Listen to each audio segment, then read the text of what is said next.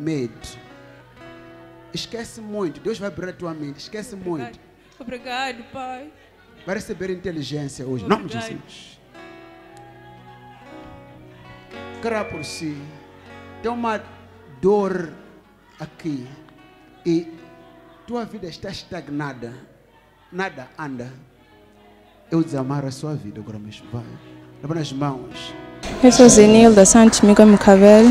Deus fez para mim, me aumentou a inteligência e tirou o demônio de, de, de medo. E o que não conseguia fazer na sua Minha vida antes havia discussão na minha família, não havia união, não tinha paz. Agora terá paz. Eu agradeço, Pai, por me ter dado inteligência.